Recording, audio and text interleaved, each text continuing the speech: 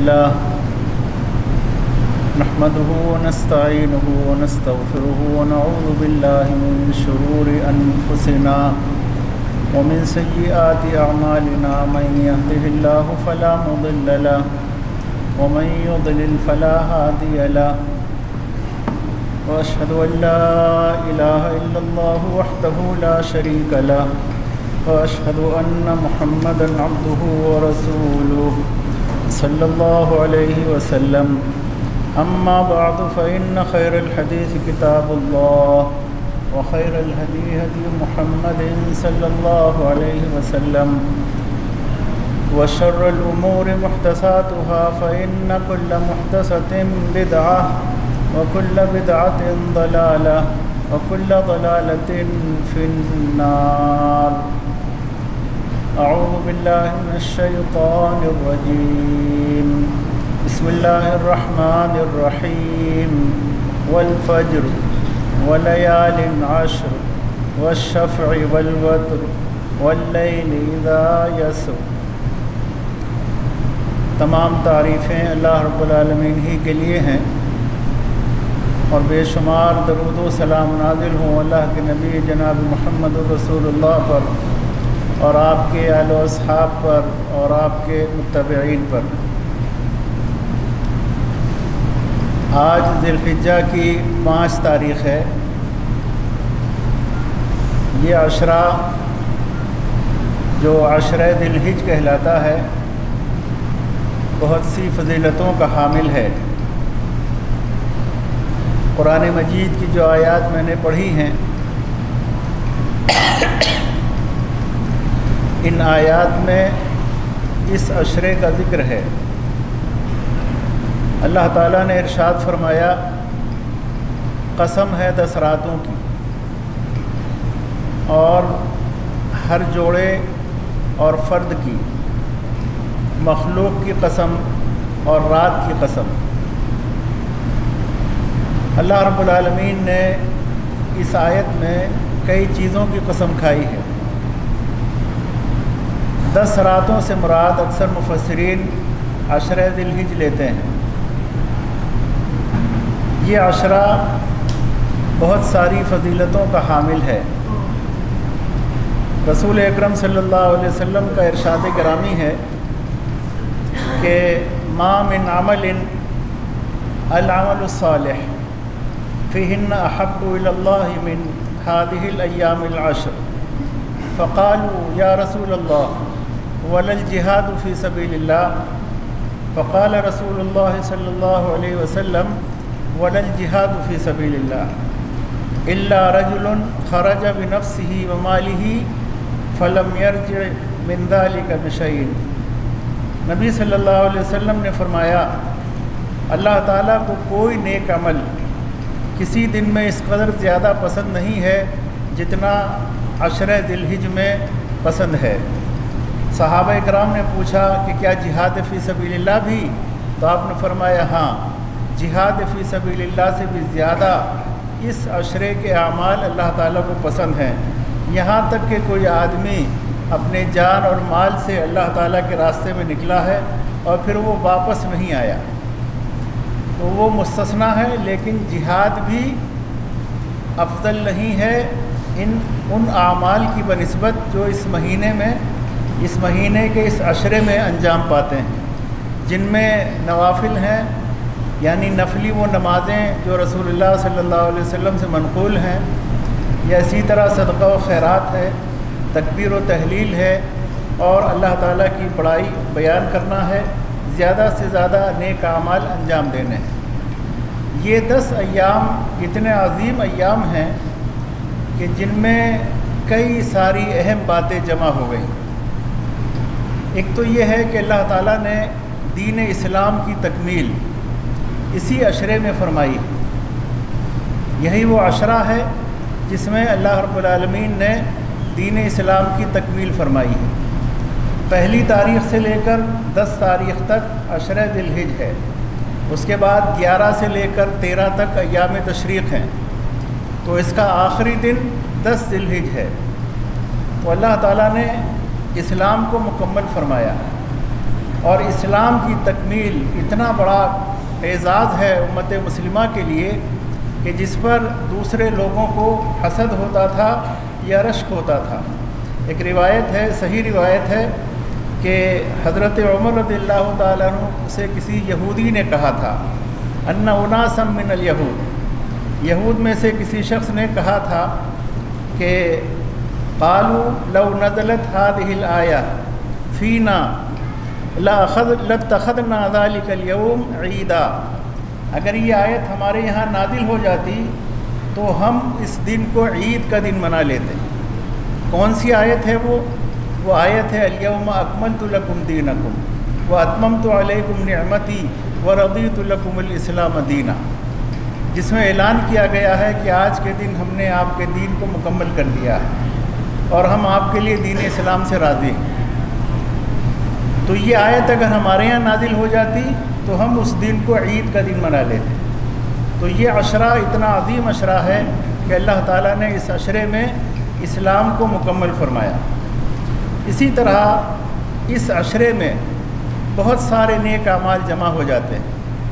جن میں حج ہے، قربانی ہے، اللہ کی تحلیل و تکبیر ہے بڑائی ہے، یہ تمام اعمال ان دس ایام میں جمع ہو جاتے ہیں۔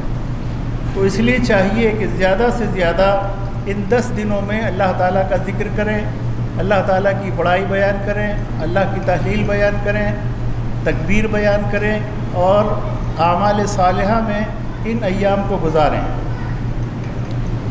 ان ایام میں روزہ رکھنے کا بھی بڑا اجر ہے اور خاص طور پر نو تاریخ کا روزہ۔ اس کی بڑی فضیلت ہے۔ ازواج متحرات بیان کرتی ہیں۔ ابو داود کی روایت ہے کہ کانا رسول اللہ صلی اللہ علیہ وسلم یسوم تسعد الحجہ بیوم عاشورہ و ثلاثت ایام من کل شہر۔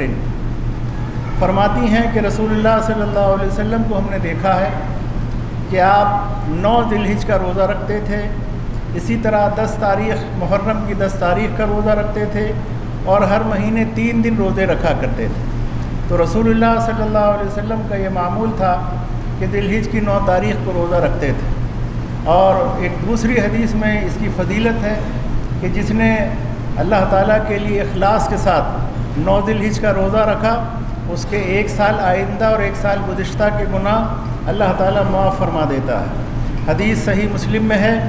فرمایا نبی صلی اللہ علیہ وسلم نے سو یوم عرفہ احتسب اللہ یکفرا السنت التی قبل والتی بعدہ کہ جو شخص یوم عرفہ یعنی نو دلحج کا روزہ رکھتا ہے، تو اللہ تعالیٰ اس کے ایک سال آئندہ اور ایک سال گزشتہ کے گناہوں کو معاف فرما دیتا ہے۔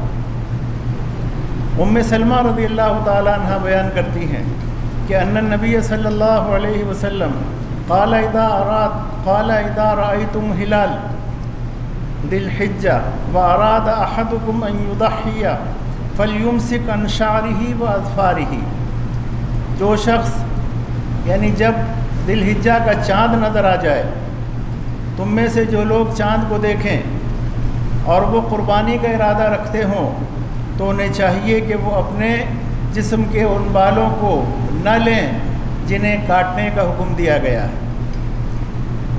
وہ کون سے جسم کے بال ہیں جنہیں کاٹنے یا موڑنے کا حکم دیا گیا۔ ہے وہ ہیں مونچھیں، بغل کے بال، زیر ناف کے بال۔ ان بالوں کو کے لیے حکم دیا گیا ہے کہ لوگ ان بالوں کو صاف کیا کریں۔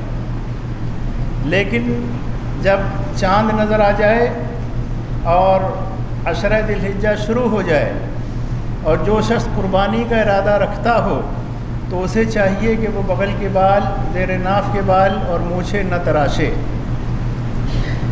ہمارے بہت سے بھائی جو سات سال بھر تک شیو کرتے ہیں، داڑھی صاف کرتے ہیں، وہ بھی قربانی کے ایام میں شیو کرنا چھوڑ دیتے ہیں۔ یعنی ایسا لگتا ہے کہ یہ حدیث جس میں کہا گیا ہے کہ جو آدمی قربانی کا ارادہ کرے، وہ اپنے بالوں کو نہ لے، انہیں نہ تراشے، نہ مونڈے، نہ کاٹے۔ تو یہ صرف قربانی کرنے والوں کے لیے حکم ہے اور باقی ایام میں نہیں ہے۔ ایام قربانی ہی کے لیے ہے، ایسا نہیں ہے۔ یہ بہت بڑی غلط فہمی ہے۔ اور جو لوگ ان ایام میں شیو کرنا چھوڑ دیتے ہیں اور قربانی کے بعد پھر شیو کرتے ہیں تو ان کو یہ سمجھ لینا چاہیے کہ انہوں نے بہت بڑا گناہ کا کام کیا ہے معاشیت کا کام کیا ہے۔ رسول اللہ صلی اللہ علیہ وسلم کی نافرمانی اور مخالفت کی ہے۔ اور قربانی کے مقصد کو سمجھا ہی نہیں ہے۔ قربانی کا مقصد کیا ہے؟ خالی جانور کو ذبح کرنا نہیں ہے۔ یہ تو ایک علامت ہے۔ اصل جو درس ہے، جو سبق ہے، وہ ہے خواہشات نفسانی کی قربانی۔ خواہشات کی قربانی جو ہمارے اندر خواہشات پیدا ہوتی ہیں، تمنائیں پیدا ہوتی ہیں اور بہت کچھ ہم کر گزرنے کا ارادہ کرتے ہیں اور یہ نہیں دیکھتے کہ وہ شریعت کے مخالف ہے کہ موافق ہے اور ہم اسے، اس کے لیے حسرت رکھتے ہیں اپنے دل میں کہ میں ایسا کروں، میں ایسا کروں، میں ایسا کروں۔ تو ایک مسلمان کو چاہیے کہ وہ جب یہ سوچے کہ میں ایسا کروں اور ایسا کروں تو وہ یہ دیکھے کہ ایسا ایسا کرنے والے کام شریعت کے مطابق ہیں یا نہیں؟ شریعت کی روشنی میں درست ہیں یا نہیں؟ تو داڑھی منڈوانا حرام ہے ہر مسلمان کے لیے۔ اس کی کوئی گنجائش نہیں ہے کہ کہیں سے کوئی گنجائش نکلے کہ صاحب نہیں، تھوڑی بہت رعایت ہوگی نہیں۔ کیوں نہیں ہے؟ کہ یہ امر ہے، حکم ہے رسول اللہ صلی اللہ علیہ وسلم کا۔ اور اللہ کے رسول صلی اللہ علیہ وسلم جس بات کو حکمن فرمائیں، وہ فرض کا درجہ رکھتی ہے۔ شریعت میں اس کا درجہ فرض کا ہے، جسے حکمن فرمائیں۔ اور داڑھی رکھنے کے سلسلے میں نبی صلی اللہ علیہ وسلم کا حکم ہے۔ ایسے نہیں ہے، ترغیب نہیں ہے، بلکہ حکم فرمایا ہے۔ تو قربانی کرنے والے لوگ، شیو چھوڑ دینا اور قربانی کر کے شیو بنا لینا یہ اپنے اجر و ثواب کو کم کرنا ہے، معصیت اور گناہ کا کام ہے، جس سے بچنا چاہیے۔ اس عشرے میں جیسا کہ میں نے ذکر کیا کہ ذکر اللہ میں اپنی زبان کو تر رکھنا چاہیے۔ اور نبی کریم صلی اللہ علیہ وسلم کو ارشاد گرامی ہے، احب الکلام اللہ اربع لا يضر کبھی ایہن بداتا۔ سبحان اللہ والحمد للہ ولا الہ الا اللہ واللہ اکبر۔ اللہ تعالیٰ کو یہ کلمات بہت زیادہ پسند ہیں، بہت زیادہ محبوب ہیں۔ اور وہ یہ ہیں سبحان اللہ الحمد للہ اللہ اکبر، لا الہ الا اللہ۔ ان کلمات کو کثرت کے ساتھ پڑھنا چاہیے۔ اور اسی طرح اس پورے عشرے میں تکبیرات کا سلسلہ بھی جاری رہنا چاہیے۔ اللہ اکبر اللہ اکبر لا الہ الا اللہ واللہ اکبر اللہ اکبر وللہ الحمد اللہ اکبر اللہ اکبر کبیرہ الحمد للہ کثیرہ و سبحان اللہ بکرتم و اصیلہ یہ جو تکبیرات ہیں، ان میں تکبیر بھی ہے، تحلیل بھی ہے، تحمید بھی ہے. تکبیر کہتے ہیں اللہ اکبر کو. تحلیل کہتے ہیں لا الہ الا اللہ کو. تحمید کہتے ہیں الحمد للہ کو. تو صحابہ اکرام کا معمول تھا کہ وہ اس پورے عشرے میں تکبیرات کا سلسلہ جاری رکھتے تھے۔ وکان ابن عمر و ابو حریرہ رضی اللہ عنہما، یخرجان السوق فی ایام العشر یکبران و یکبر الناس بتکبیرہما۔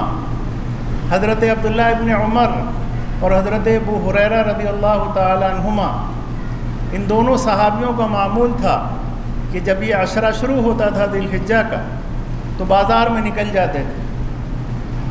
اور کوئی کام نہیں ہوتا تھا، کوئی کام نہیں ہے، کوئی خرید و فروخت نہیں کرنی ہے۔ کس لیے نکلتے تھے کہ تکبیرات پڑھتے تھے۔ اور جب لوگ ان کی تکبیروں کو سنتے تھے، تو لوگ بھی تکبیریں پڑھنے لگتے تھے۔ تو تکبیرات کا سلسلہ بازاروں میں بھی شروع ہو جاتا تھا۔ یہ تکبیر کیا ہے؟ یہ بہت بڑے کلمات ہیں، بہت عظیم کلمات ہیں۔ اللہ اکبر، اللہ سب سے بڑا ہے۔ یہ بہت عظیم کلمہ ہے۔ اللہ اکبر، اللہ سب سے بڑا ہے۔ لا الہ الا اللہ اللہ کے علاوہ کوئی معبود برحق نہیں ہے۔ ولی الحمد، اور تمام تعریفیں اللہ ہی کے لیے اللہ کی تعریف ہے، اس کی بڑائی ہے، کبریائی ہے۔ اور اس کے معبود برحق ہونے کا اعلان ہے۔ تو بندہ اپنی زبان سے اعلان کرتا ہے، دل سے اقرار کرتا ہے اور اپنے عمل سے اس کو ثبوت دیتا ہے۔ تو تکبیرات کا سلسلہ چاند دیکھنے کے بعد سے پورے ایام تشریق کے آخری دن تک، تیرہ تاریخ کے آخری دن کا آخری دن ہے، عصر کی نماز تک تکبیرات کا سلسلہ جاری رہنا چاہیے۔ یہ تو تکبیر ہوئی مطلق۔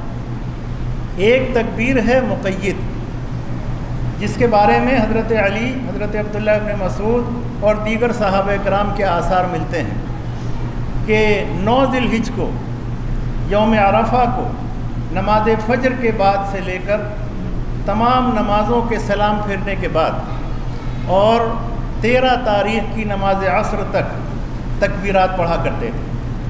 تو یہ بھی مستحب عمل ہے کہ پانچوں نمازوں کے بعد، سلام پھیرنے کے بعد بآواز بلند تکبیرات پڑھی جائیں۔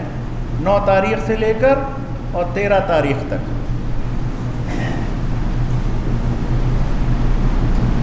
اسی طرح نبی کریم صلی اللہ علیہ وسلم سے قربانی کے جو احکام ثابت ہیں، ان احکام کی جانکاری اور ان کے بارے میں معلومات حاصل کرنا بھی ضروری ہے۔ چونکہ اس عشرے کی دس تاریخ کو عید الاضحیٰ ہوتی ہے۔ وہی یوم النحر ہے، قربانی کا دن ہے۔ اس کے بعد پھر تین دن قربانی کے ہیں۔ کل ملا کر چار دن قربانی کے ہو گئے۔ دس تاریخ کو قربانی کرنا افضل ہے۔ اس کے بعد کے ایام برابر ہیں۔ آپ گیارہ کو کریں، بارہ کو کریں یا تیرہ کو کریں۔ لیکن افضل ہے قربانی کرنا دس تاریخ کو۔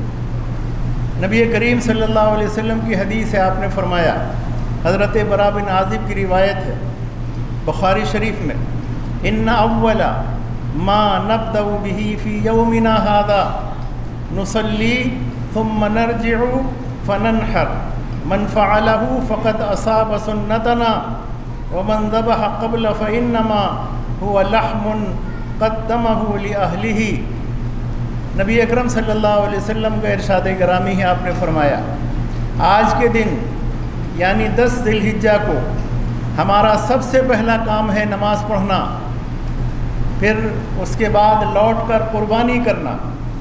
جس نے ہمارے اس طریقے پر عمل کیا، اس نے ہماری سنت کو حاصل کر لیا، اس نے ہمارے طریقے کو پا لیا، وہ ہمارے طریقے پر چلا۔ یعنی پہلا کام ہے نماز پڑھنا۔ اس کے بعد لوٹ کر قربانی کرنا۔ اور فرمایا، ومن ذبح قبل فعنما ہوا لحم قدمه لأهله۔ اور جس نے نماز سے پہلے قربانی کر لی، تو اس نے اپنے گھر والوں کے لیے صرف کھانے پینے کے لیے قربانی کی۔ اس کی قربانی نہیں ہے، جس نے نماز سے پہلے قربانی کر لی، اس نے صرف کھانے کے لیے ذبح کیا ہے۔ قربانی کے لیے نہیں ہے۔ تو اس بات کو یاد رکھیں۔ اور اس حدیث کے آخری الفاظ ہیں لئی سمن نسو کی فی شعین وہ قربانی قربانی نہیں ہے۔ وہ ذبح کرنا جو نماز سے پہلے ہے، وہ قربانی نہیں ہے۔ اس لیے قربانی نماز سے پہلے کوئی بھی شخص نہ کرے۔ شہر کا رہنے والا ہو یا دیہات کا رہنے والا۔ اس گاؤں میں نماز عید ہوتی ہو یا نہ ہوتی ہو۔ کوئی بھی شخص نماز سے پہلے قربانی نہ کرے ساری دنیا کے تمام مسلمانوں کے لیے رسول اللہ صلی اللہ علیہ وسلم کا یہ حکم ہے۔ نبی کریم صلی اللہ علیہ وسلم کی سنت ہے قربانی۔ لوگ سوال کرتے ہیں جی واجب ہے یا سنت ہے؟ کئی لوگ مسئلہ پوچھتے ہیں، واجب ہے یا سنت ہے؟ حضرت عبداللہ ابن عمر رضی اللہ تعالیٰ عنہ سے یہی سوال لوگوں نے کیا۔ ایک شخص نے پوچھا کہ کیا قربانی واجب ہے؟ اللہ اکبر صحابہ کرام دین کو کتنی آسانی کے ساتھ سمجھتے تھے اور کتنا ان کا فہم دین جو تھا کتنا آسان تھا۔ ابن عمر رضی اللہ تعالیٰ عنہ فرماتے ہیں، دحا رسول اللہ صلی اللہ علیہ وسلم والمسلمون. اللہ کے رسول صلی اللہ علیہ وسلم اور مسلمان قربانی کیا کرتے تھے۔ سائل سوال کرتا ہے، واجب ہے یہ سنت؟ کیا قربانی واجب ہے؟ کہتے ہیں دخا رسول اللہ صلی اللہ علیہ وسلم والمسلم اللہ کے رسول صلی اللہ علیہ وسلم اور مسلمان قربانی کرتے۔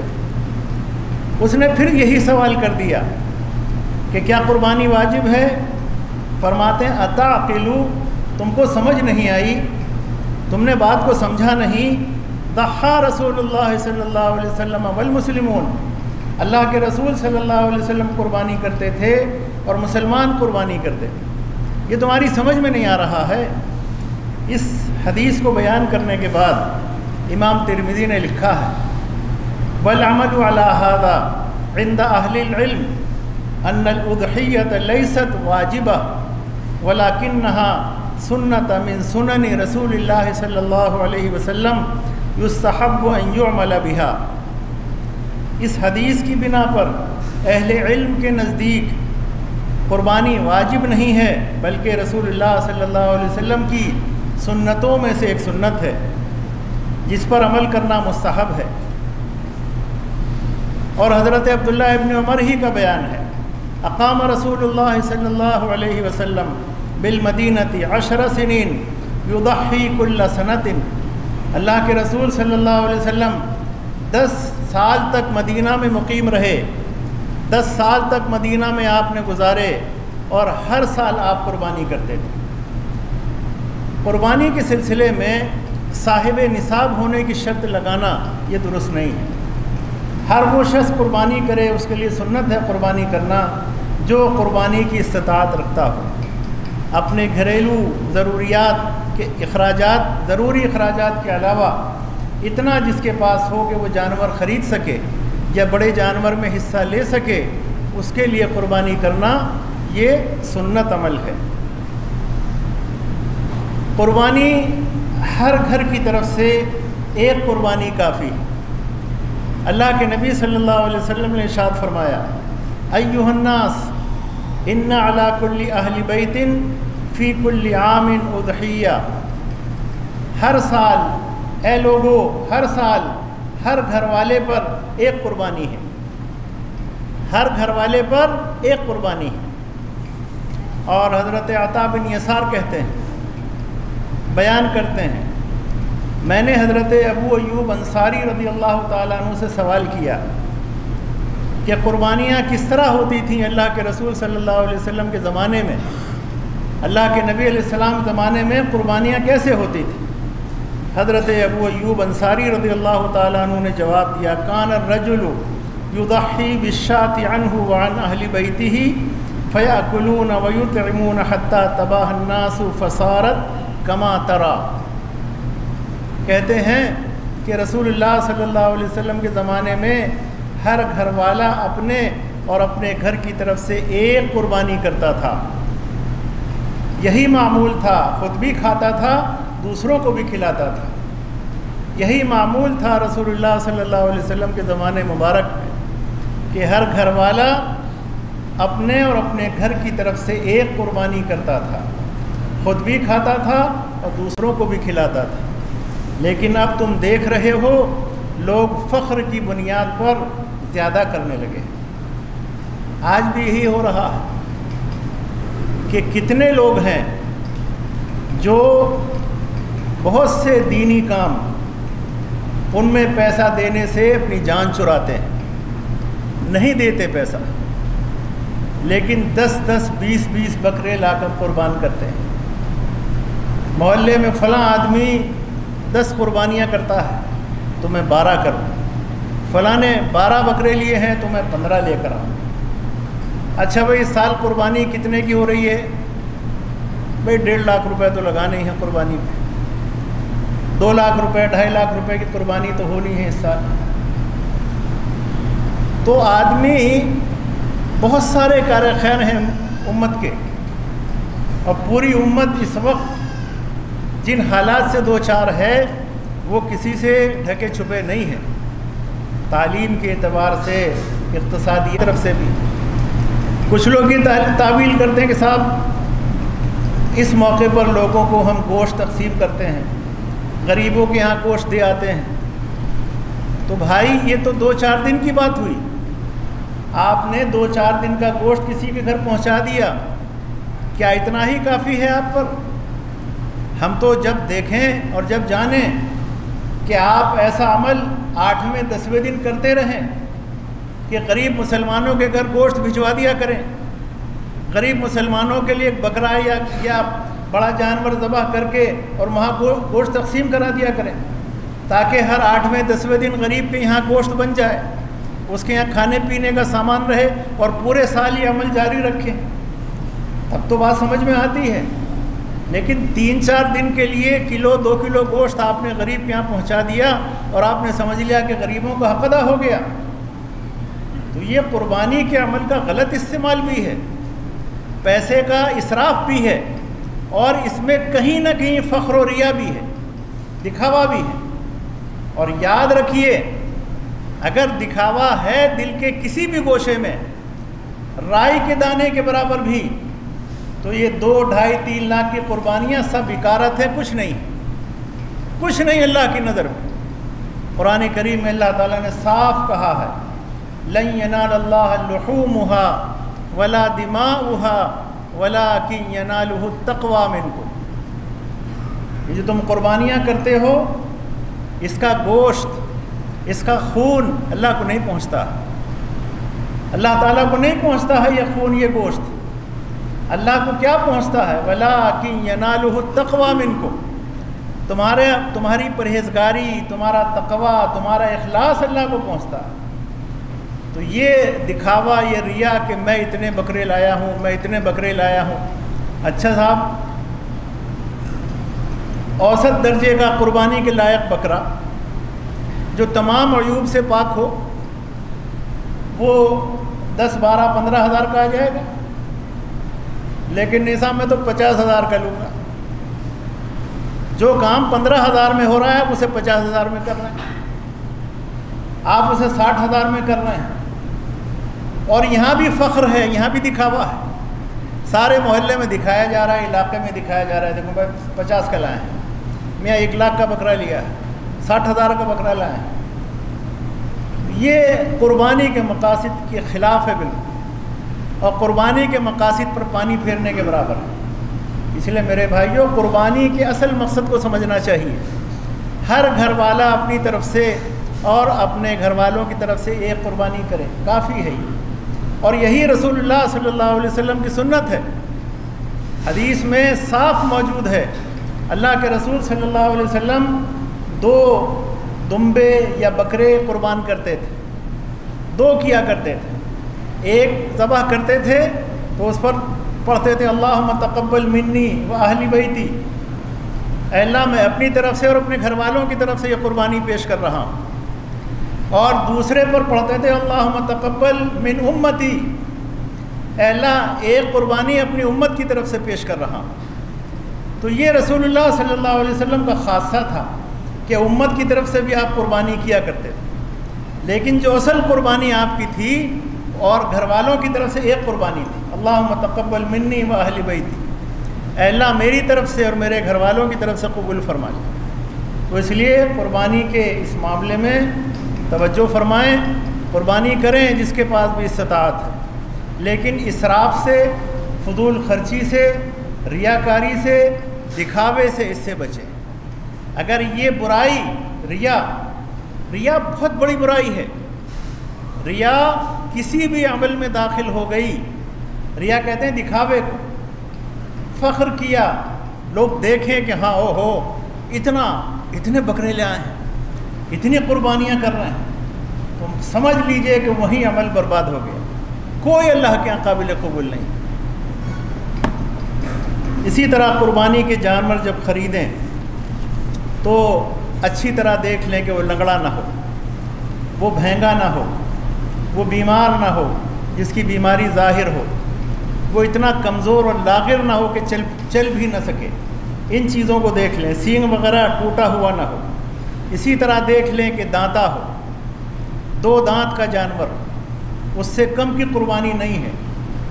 جو لوگ اپنے گھروں میں جانور پالتے ہیں، بکرے وغیرہ پالتے ہیں، وہ سال بھر کا ہو گیا، دانت نہیں نکالے ہیں، تو اس کی قربانی نہیں ہے۔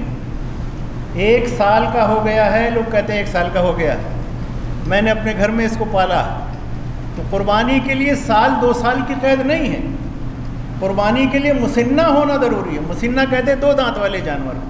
صحیح مسلم میں حدیث اللہ تذبحو اللہ مسنہ مسنہ ہی ذبح کرو۔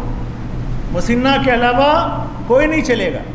اللہ یعصر علیکم فتذحبو فتذبحو جزعتم من الدانی اور اگر تمہیں دانتا جانور میسر نہیں ہے، اتنی تنگ دستی ہے کہ داتا جانور خریدنے کی طاقت نہیں رکھتے ہو، دو دانت والا جانور۔ تو بھیڑ یا دمبھا یا میڈھا ایک سال کا قربانی کیا جا سکتا۔ غیر دانتا، بغیر دانت کیا ہوا جانور کون سا چلے گا؟ مینڈھا دمبا یا بھیڑ۔ وہ بھی اس صورت میں جبکہ آپ کے پاس دانتا جانور خریدنے کی طاقت نہ ہو۔ دانتا جانور خریدنے کی طاقت ہے تو پھر وہی لازم ہے دو دانت کا جانور، چاہے وہ بڑا جانور ہو یا چھوٹا جانور ہو، سب کے لیے دو دانت کا ہونا ضروری ہے۔ تو قربانی کے یہ مسائل ہیں ضروری، جو میں نے آپ کے سامنے ذکر کیے ہیں۔ ان مسائل کو ذہن میں رکھیں اور قربانی کے اس عظیم مقصد کو اپنے سامنے رکھیں اور وہ پوری تاریخ اپنے سامنے رکھیں جو قربانی کے پس منظر میں ہے۔ حضرت ابراہیم علیہ السلام کی قربانی اپنے بیٹے کو منا کے میدان میں اللہ کے لیے لٹا دینا، گردن پر چھری چلا دینا، وہ واقعہ جو ہے، وہ عظیم واقعہ ہے۔ آسمان نے وہ واقعہ نہیں دیکھا اب تک اور قیامت تک نظر نہیں آئے گا۔ تو وہ وہ قربانی کیا تھی؟ کیا مقاصد تھے؟ کیا اس کا پس منظر تھا؟ یہ اسی قربانی کی یادگار ہے۔ اور رسول اللہ صلی اللہ علیہ وسلم کی سنت ہے۔ اللہ تعالیٰ سے دعا ہے۔ کہ رب العالمین ہم سب کو قربانی کے مقاصد کو سمجھنے اور ان پر عمل کرنے کی توفیق عطا فرمائے۔ ہم سب کو ہر طرح کی ریا سے، نمود سے اور دکھاوے سے اللہ تعالی ہم سب کی حفاظت فرمائے۔